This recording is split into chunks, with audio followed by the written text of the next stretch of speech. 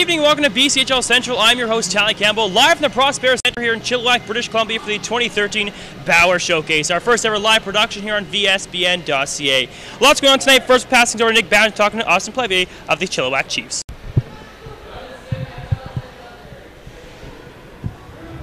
Thank you, Tally. And yes, I'm here with Austin Plevy of the Chilliwack Chiefs. Austin, first of all, how does it feel to be able to play with your brother for the first time in your BCHL career?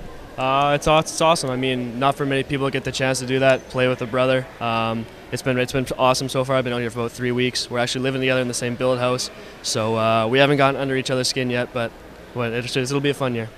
And now I was hoping that, that you would be able to tell us a bit more about next year as well. You're going to Merrimack in Boston. What are your thoughts on this as being your last season in the BCHL? Um, I mean, last year I was thinking of the same thing. It was my last year, but a couple things changed as far as schooling and obviously my brother coming back. But I mean, it, kind of sinks in now that this is kind of your last. Every rink you go to, that's going to be your last game in that rink. I mean, I've been playing since I was 15, so I mean, I gotta I gotta enjoy it and have fun this last year and, and be successful. And of course, as you said, you're in your last year. How does it feel with the pressure of being one of the top guys in the locker room and on the ice? You got to carry the team almost on your back now after a lot of guys left last season due to age restrictions. Yeah, it's it's tough. I mean, we lost a lot of good guys, not just good hockey players, but good guys in the dressing room too. But uh, our coaches, Harv, and they've done a great job recruiting some guys. I think we got a lot of good players. Uh, they're young. We're coming together. We're working hard in practice, and I think in a couple weeks we're gonna we're gonna be beating some teams. We just might be a little might be a little slow at the start. Now, can I get your thoughts on the 2013 Bauer BCHL Showcase? Uh, it's awesome. I think everyone involved, all the volunteers, everyone did a fantastic job. I mean, obviously being in our rink and living 10 minutes from the rink is awesome. Not having to sleep in a hotel or anything like that, being to sleep in your own bed, nice home cooked meal before the games, it's definitely a plus. And I would just like to thank everyone with the organization, all the volunteers that helped out this weekend and make it awesome for all the players. Thank you so much, Austin. Back to you, Tally.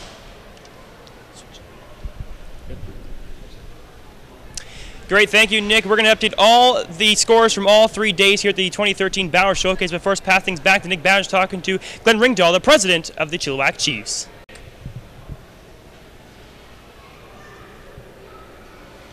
Thank you. And yes, I'm here with Glenn Ringdahl, pardon me. Can I get your thoughts on the showcase overall? Was it better than last year? Did it top last year, not just economic wise, but fanfare?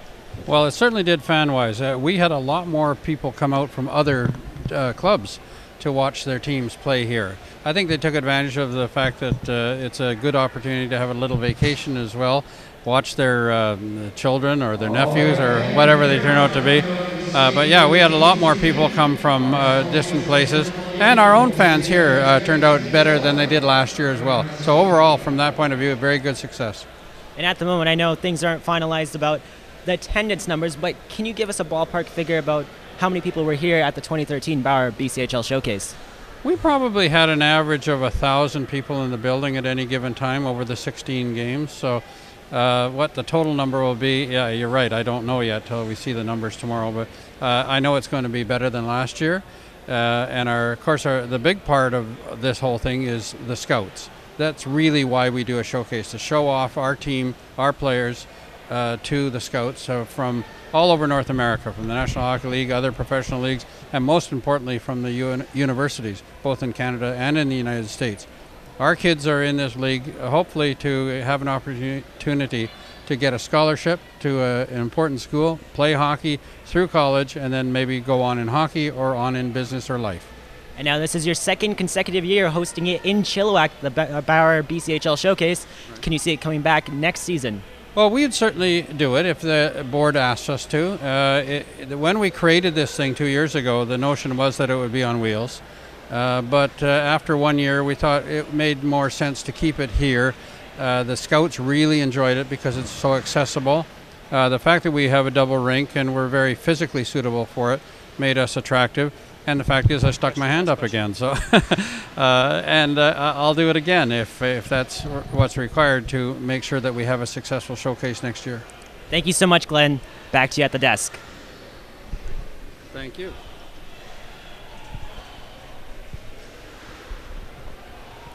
Great, thank you, Nick. Now, Nick joins us here at the desk now. The Chilliwack Chiefs just finishing up their public skate behind us after their game. We're going to update all three games, of course. Uh, the first off, the showcase was a Friday morning. Penticton beat the Victoria Grizzlies 2 to 1. Brad McClure scores the first goal of the season. First goal of the season, first goal of the season for himself. Brand new captain for the Penticton Vees. Great to get that monkey off your back. But of course, a lot of people were watching number 15 on the Vees. That's Jack Ramsey. He's ranked 27th overall on Craig Button's scouting list. You can view that on tsn.ca. Of course, and also another good point in that thing Nick Renier, the starting goal in Victoria Grizzlies was a backup goaltender for the uh, Penticton Vees last season. What pressure was he under that game? Immense pressure, but at the same time, there's a lot of motivation. When you're a backup, you always want to take over the reins. You want to take that starter's job. We saw that in Vancouver, of course, with the Canucks. We all know about that story. And he had the uh, chance to prove his old team wrong, and he attempted to do so. It didn't come up on the winning side. And then following that game, Merritt Centennials beat the Express 5 to 2. In that game, there was a big question. Can Russell Sanderson take the reins of the pipes and sail the ship in the right direction? He did that. They won it 5 2, him and Ned. And it looks at the moment he can take the reins and be a, uh, a great starter in the BCHL. Absolutely. Russ Sanderson, of course, got 31 saves in that game, played 11 games last season. And next up, Langley Rivermen beat the Trail Smoke Eaters 4 to 3 in overtime. Well, it was 3 3 until overtime, until the new captain, Mitch McLean, that everybody's kind of man. He's got to get his lunch bucket, go to work. And that's exactly what he did in overtime. Johnny on the spot, he was able to do a great job showing his team why he's the captain. Through blood, sweat, and tears, able to get that goal, get the first win, and he helped a couple of the young guys set up a few goals. Absolutely. Brendan Kearney, of course, 18 year old rookie. He got two goals, and of course, Mitch assisted on one of those. Uh, Surrey Eagles finished off the night with a shutout 3 0. You got to give it to Victor Adamo, the guy who's taken over from Michael Santaguida, the guy who led the Surrey Eagles to the RBC Cup. How much pressure is he under? A ton, but he was able to stop all 40 shots, going side to side, stacking the pads like Marty Brodeur. This guy was unbelievable. Absolutely. Then day two, Surrey had the other end of the stick. 7 3, Vernon beat them. Oh, the Vipers pulled away in the third period. You know, Surrey Eagles started out pretty well. They didn't have Adamo in, in, net. They decided to give him a rest. Of course, during the showcase, you have a lot of scouts here. You want scouts to see both your goalies, all your players, as many as possible. So that's going to happen, but they're going to move forward. Unfortunately, of course, Bo Dedore's first uh, BCHL game didn't go probably the way he wanted to. However, last season with the Northwest Giants, the BC Major Midget League, he uh, averaged a 1.84 goals against average. So not too bad not too bad, but this is the BCHL, and we'll see how he does over the next couple of games that he gets. And he's backing up Victor Adamo, no doubt, this season. We'll see what he can do in his future. Absolutely. Following that, Victoria Grizzlies beat the Salmon Arm Silverbacks 5 to 4 in overtime. Rory McGuire scoring the overtime goal. He scored the overtime winner, but of course it was triple trouble. You talk about double trouble with the Sedin twins. Well, in Victoria, you got triple trouble. You got Leo, you have Miles, and you have Jerry. They all combined for three out of the five Victoria goals. They actually you know, all hooked up on what, the very first goal, pardon me, for the Victoria Grizzlies in that game. Absolutely. The Clippers beat the West Kelowna Warriors 6 to 5. Sheldon Rempel, two goals and one assist, only 18 years old. He's going to be a force to reckon with this season. He is going to be a force to reckon with. I'm excited to see this kid. I'm also excited to see the man you can't argue with. Yes, you're going to hate that pun, but Jason Argue, stopping 43 out of 48 shots. His team only managed 16 shots on, uh, pardon me, against and you know you need some more shots to back up your great goaltending play. You stop 43 shots, you're expecting at least 20, 30 shots. Going the other way, try and get some more goals, make your night easier. Absolutely. And Penticton Vees beat the Port Alberni Valley Bulldogs 3 to 2. A close game that was. It was a very close game. The Vees they basically just outshot the Alberni pardon me the the Bulldogs there. Pardon me, I'm no worries, no worries. wrong there. It still upsets me though when your team does not shoot enough to back up your great goaltending. When your goalie's doing everything he can, he expects his team and his teammates in the end, his partners, to do their job and get some shots going the other way. They were unable to do that. Absolutely. And Cowichan Valley Capitals beat the uh, Spruce Kings 4 to 3. It was a comeback, three goals in the last 14 minutes for the Cowichan Valley Capitals. Of course, the man Gelsinger scoring the game winner on the power play. They went one for five on the power play tally. You had four other opportunities to pull away in that game. You didn't do that. Special teams are a huge thing in junior hockey. They need to regroup and work on their special teams there because it shouldn't have been that close of a game. And the end of the night here at the Prospera Center, the Palmer Kings beat the host team, the Chilliwack Chiefs, 6 to 1 that was unexpected. The night before, we were talking about that particular game, saying you would have to favor the Chilliwack Chiefs. Not in that appearance. The Young Guns, the Powell River Powell River, pardon me, they came out guns blazing, were able to get a ton past the defense of the Chilliwack Chiefs, who disappointed their hometown fans. And then, of course, this morning the Power Kings are back in action against the Salmon Arm Silverbacks, winning 5 to 1. As Nick just mentioned, the young guns, Kurz McCarrick, Jared Luskarevich, uh, Luke McGraw, many, many more are that team's heart. Well, that's exactly it. These guys, they don't stop. I don't even know if they sleep, Tally. I mean, you have one late night game, you got to get up and be ready to go in the BCHL. You don't have a second off, you don't have a shift off. They did just that. But you look at the Silverbacks, they went one for eight on the power play. You have seven opportunities. Just like I said before, with a couple other teams already throughout the showcase, you need to capitalize on your chances. They didn't do that, and Powell River just ran wild on them. We talk about that, about the, you know, they had the late game last night against Chilliwack, and the morning game at 10.30 this morning. That's quite the turnaround. I mean, for us here, we finish our show at about 10.30, get back to the hotel at 11. I don't get to bed till about 12 because of the adrenaline I'm having because hosting a show. Imagine hockey players, first pitch of the game, how could they do that? I was tired this morning I got to the rink. I almost fell asleep on the way here. Of course I didn't. Safe driving as always. But it's just amazing hockey players and athletes how they could be they could have been fast asleep on the way here on the bus but as soon as they hit the rink they're ready to go they're up and at 'em. when they tie those lacings they smell the ice oh it gets something going in their veins Absolutely. And the Coquitlam Express beat the Port Alberni Valley Bulldogs 9 to 4. Wow. This What isn't a football. I know scoring the. NFL season's starting, but we're at the BCHL showcase, and Joey Santucci, he had the hat trick, the first one of the season, the only one of the showcase. The kid only played six games last year for the Coquitlam Express. I don't think he's going to have a problem staying on this roster now. Absolutely. Nine Clippers beat the Spruce Kings uh, 3 to 1. Jason Argue, of course, huge first star, 30 saves, and even I saw some scouts talking to him after the game. Oh, no doubt. This guy, he's already showing he's going to be a force to reckon with, Tally, in the BCHL. And at the BCHL showcase, teams are watching other players. That's one of the great things about the Bauer BCHL showcase, not just for the scouts, but for other GMs and coaches to look at their competition. They're looking at Jason Argue, scratching their heads, going bald, thinking, how are we going to get one past this kid? Absolutely. And then Trail beat Cowichan Valley Capitals 6 to 2, and your boy got a couple goals here. Brendan Lamont, two goals, a former Langley fundamental. This guy was on fire. His parents were in the crowd. Early on, he gets one, he gets the other.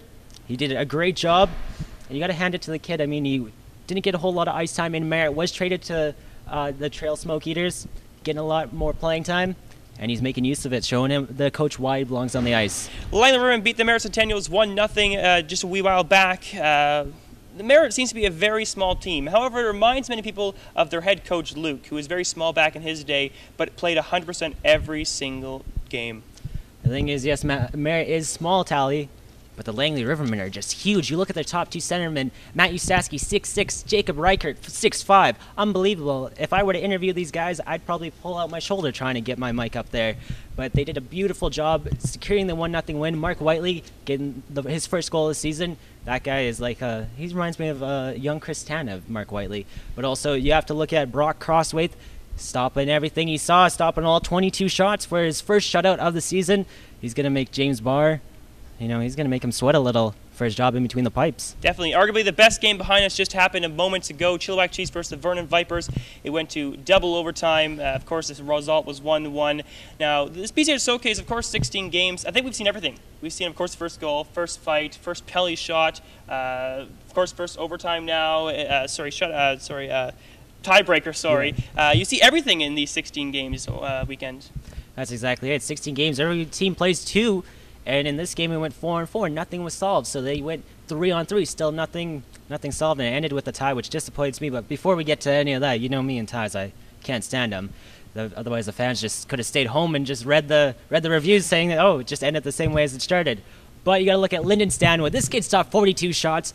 Somebody please get him an ice bag. I mean, he was unbelievable. I don't even know how he could stretch out his legs like that. Humanly possible. If I did that, please call an ambulance. And I mean, Chilliwack Chief players also deflected a lot of shots as well.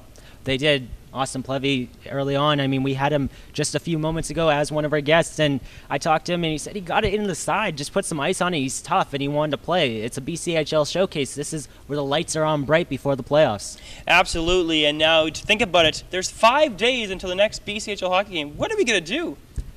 I, you know, honestly, there's nothing we can do. I, we could try and get a road hockey game going, but Hey, might as well. Hey. yeah, we need our hockey fix as much as possible, and I'm looking so full much forward. Pardon me, I'm looking forward in general to the BCHL season as it gets underway next week. Uh, and Nick, lastly, what did you think about this entire experience uh, at the BCHL showcase? Well, it was the first time we did anything like this tally, and it was amazing. From the volunteers to the fans to the people at the Prospera Center. Of course, the players, coaches, everybody involved were unbelievable. We, I got to say thank you myself for all the interviews that I was able to do, and just all the hockey that we were able to see was just unbelievable because after a long summer, that's you just need your fix. I mean, I think we owe a huge fan to, of course, the Prospera Center, the Chilliwack Chiefs organization, everybody we interviewed the, in the entire weekend, rather, uh, and of course our own team, yourself, uh, our producer uh, Bill Stewart, our editor and, uh, and camera operator Chris Muns Micklin. Those two have been working hard behind the scenes. I don't even know if they slept yet, to be honest. I mean, I you can't see them right now, but they are still working at this moment as we're doing our thing here. This is nothing compared to what they do. Well, we appreciate it so much. Bill and Chris, thank you very much for everything you've done. And I mean, they're the reason why this show's live. That's the reason why we even have this desk. Absolutely. Well, from the Prospera Center here at the Bauer Showcase, have yourself a fantastic night. We'll see you guys later on. Make sure to check all your amateur sports needs. www.vsbn.ca. Have a good night.